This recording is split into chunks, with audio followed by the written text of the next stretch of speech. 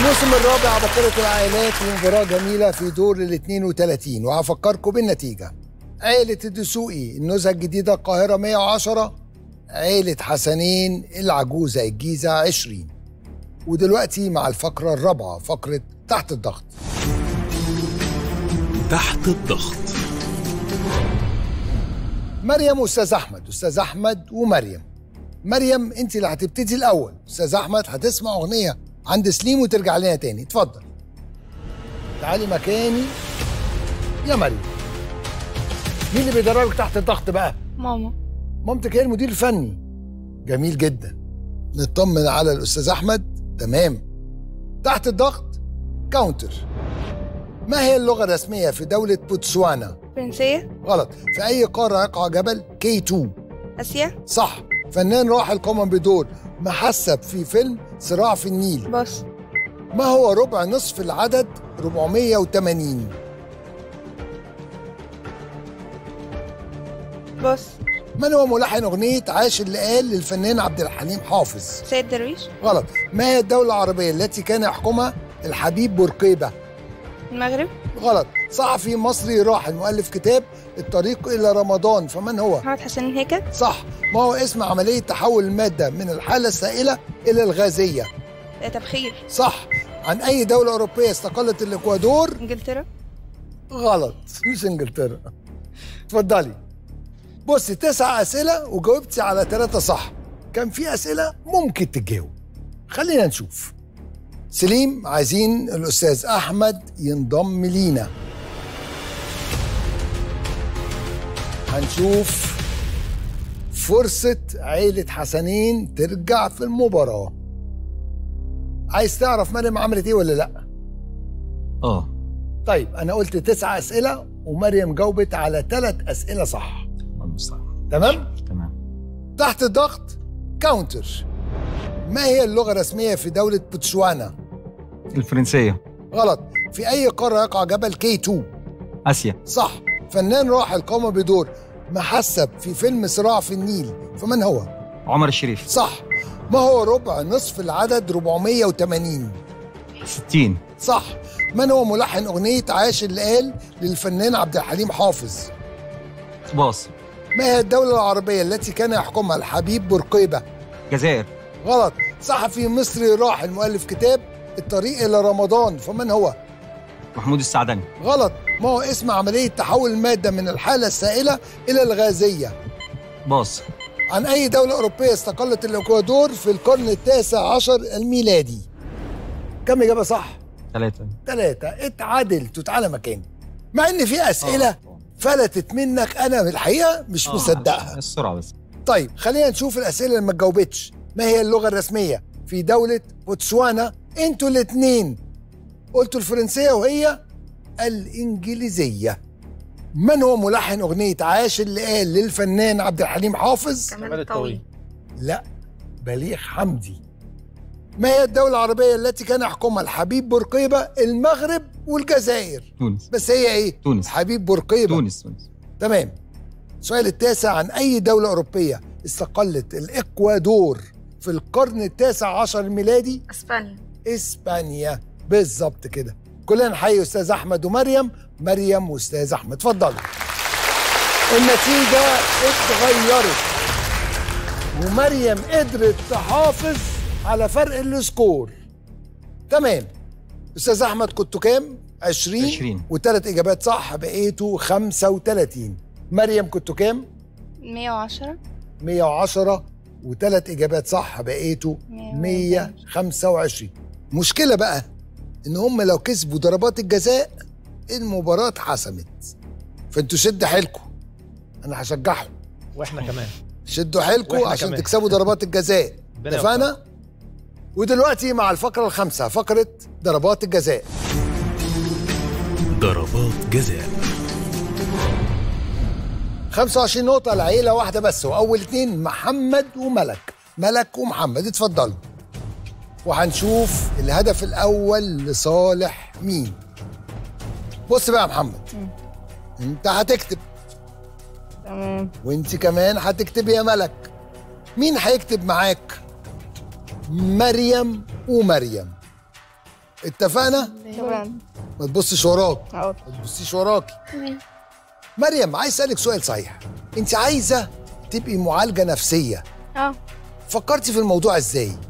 هو أنا من وأنا صغيرة كانت الفكرة في دماغي إن أنا كنت بقرأ كتير فبدأت تسكن في دماغي إن هو إن المعالج النفسي شخص بيقدر يهتم بمشاعر الناس التانية فده شيء المفروض إن إحنا كلنا ننميه إن كل واحد يخاف على مشاعر الإنسان اللي قدامه.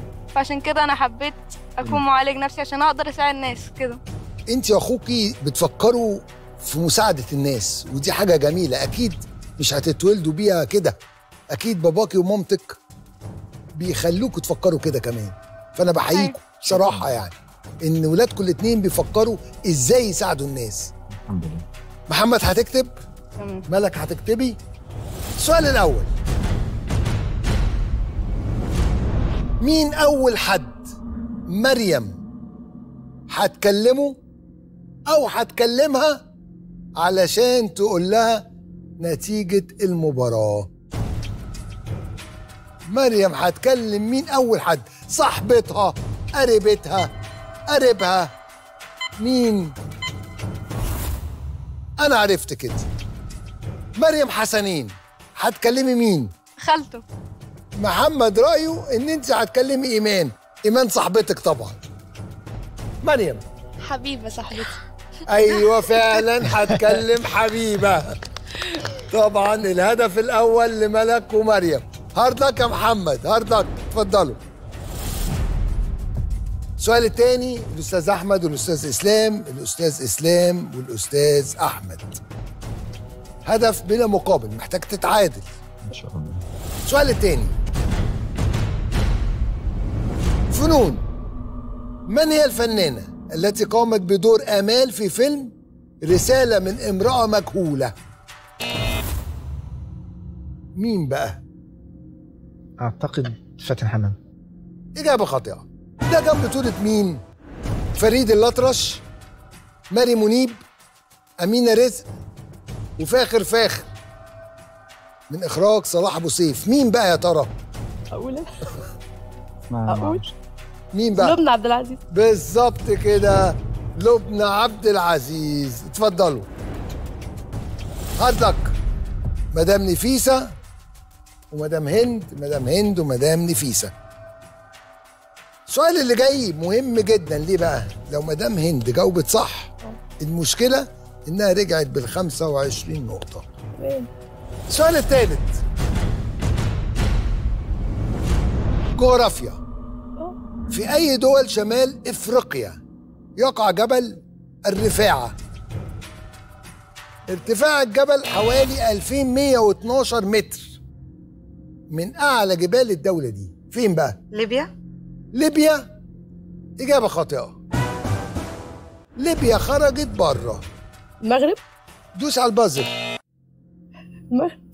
إيه البلد اللي ما بين ليبيا والمغرب؟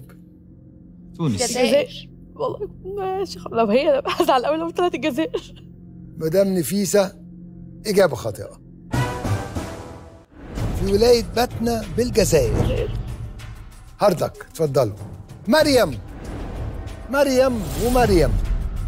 بص يا مريم ما عندكيش اختيار غير إنك تتعادلي. الفن بقى في الإجابة في السؤال ده إنك تخطفي البازر. سؤال مش صعب. أنا بحاول أشجعهم عايزهم يرجعوا تاني في المباراة. إن شاء الله ربنا يوفقه السؤال الرابع. معلومات عامة. ما هي الدولة الآسيوية؟ الأعلى إنتاجا للشاي في العالم. حاولت تخطفي البازر وفرقت على ثانية. عام 2021 الصين؟ الصين بتنتج حوالي 2.8 من عشرة مليون طن 40% من إنتاج العالم. طبعا يا مريم hard luck hard luck الهدف الثاني hard luck يا مريم حسنين. مريم الدسوقي خطفت الهدف الثاني ب 25 نقطة وحسمت اللقاء. ألف مبروك لعيلة الدسوقي اتأهلتوا لدور ال 16 و hard luck لعيلة حسنين. وإن شاء الله بإذن الله نشوفكم في الموسم اللي جاي تكونوا استعديتوا إن شاء الله. إن شاء الله. ونطلع من رهبة الاستوديو يا محمد صح ولا غلط؟ صح. هارد لك لعيلة حسنين. هنخرج فاصل وهنرجع مرة تانية. مع آخر فقرة فقرة عجلة الحظ والعباقره وبكده عائلات مصر جمعت 55 نقطة في فقرة تحت الضغط وضربات الجزاء وكل نقطة ب 500 جنيه. بما يساوي 27500 جنيه ويبقى الرصيد لحد دلوقتي 92500 جنيه. في خزنة البنك الأهلي لتدريب وتأهيل ودعم المشروعات الصغيرة ومتناهية الصغر في مختلف محافظات مصر.